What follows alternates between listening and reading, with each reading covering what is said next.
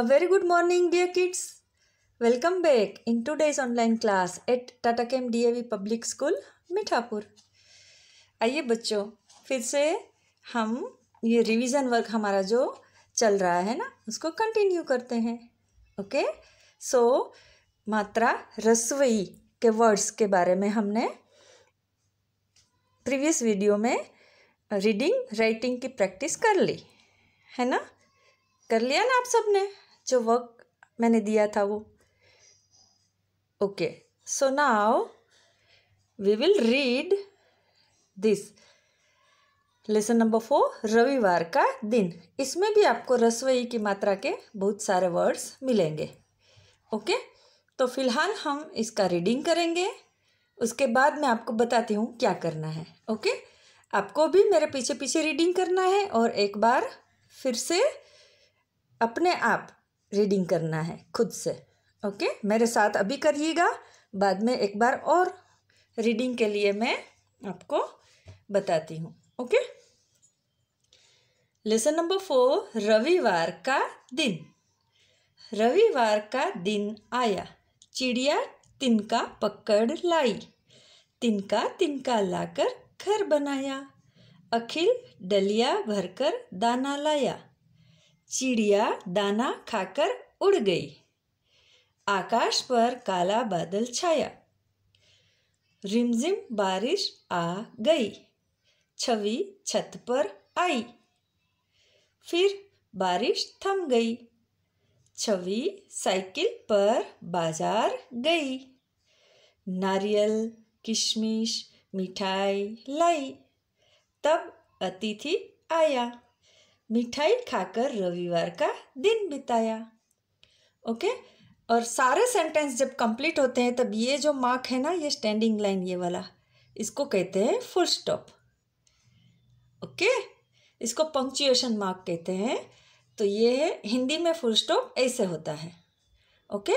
English और गुजराती में full stop जैसे डॉट होता है इंग्लिश में डॉट होता है ना, वैसे हिंदी में ऐसा फुल स्टॉप होता है। कोई भी सेंटेंस जब कंप्लीट होता है, तब हम फुल स्टॉप लगाते हैं। ओके? तो ये रीडिंग आप एक बार और करिएगा।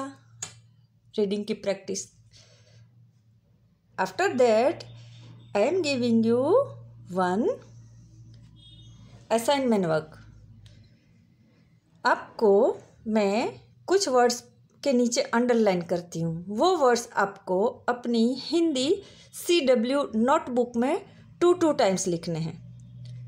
ओके नोटबुक में टॉप ऑफ़ द पेज आपको डेट लिखनी है। जिस दिन वीडियो अपलोड हो रहा है स्कूल वेबसाइट में, वो डेट लिखनी है आपको, okay? okay?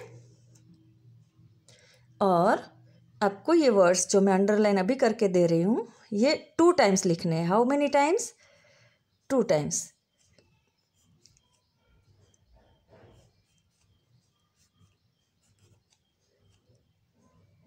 okay so read करके फिर राइट करना है। ये वर्ड्स आपको जैसे छवि तो छवि बोलना भी है और लिखना भी है। Okay okay? कभी ऐसा होता है कि मैं सेम वर्ड पर अंडरलाइन करती हूँ तो आपको वन इग्नोर करना है। Okay okay?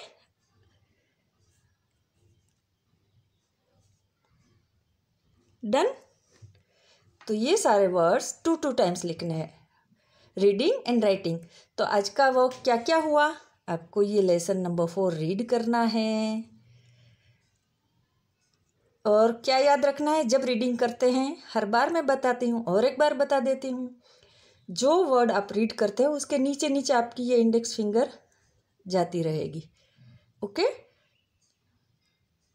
और उसके बाद ये मैंने जो अंडरलाइन वर्ड किए हैं ना, उसको आपको रीड फिर से एक बार रीड करते करते अपनी हिंदी सी डब्ल्यू नोटबुक में टू टाइम्स लिखना है। How many times two times so that's all for today thank you bye bye